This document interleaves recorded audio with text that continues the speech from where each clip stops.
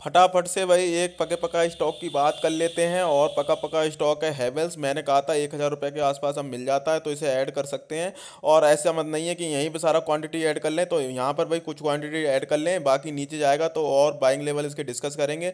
जाता हुआ दिख नहीं रहा है, हो सकता है दस पाँच रुपये दस बीस रुपये इससे हज़ार से नीचे चला जाए, उसके बाद फिर बाउंस बैक मार जाए और उससे ज़्यादा जाता नीचे दिख नहीं रहा है। नीचे आएगा टू हंड्रेड डी जो आएगा नौ सौ रुपये के आसपास तो अगर वहाँ तक जाएगा तो बहुत ही मतलब बस सिनेरियो होगा मार्केट में भाई। मार्केट ही बिल्कुल ही गिर जाए तो हो सकता है चला जाए, तब वहाँ और ऐड कर लेंगे। लेकिन मुझे अभी करंट सिनेरियो में जाता नहीं दिख रहा है तो यहाँ पर एक डिप लगा सकते हैं। एक हज़ार रुपये के आसपास चल रहा है और R S I forty four की हुई है। यहाँ सेल सिग्नल बनने वाला है। अगर यहाँ पर थोड़ी और गिरावट हुई तो आप एक डिप लगा सकते हैं। भाई अच्छा स्टॉक है, कोई दिक्कत वाली बात नहीं है और नीचे जाना तो और डिप लगाएँगे। और मैंने भाई अभी बताया था रूट मोबाइल अभी पिछली वीडियो में यहीं कहीं ऊपर लिंक आ रही होगी, उसको देख लेना। रूट मोबाइल बात कर लेते हैं।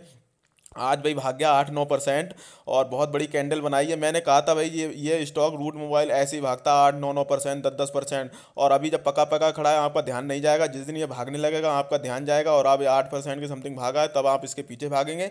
अभी तक पका पकाया खड़ा था, तब आप इसकी तरफ़ देख नहीं रहे और रूट मोबाइल इंडिया मार्ट नौकरी और एफ़ एल ये भाई ऐसे स्टॉक है जब भागते हैं तो फिर आप इनके, इनको भी पकड़ नहीं सकते और भाई अगर आपने उस समय ख़रीदा होगा तो आठ नौ परसेंट का प्रॉफिट हो गया होगा।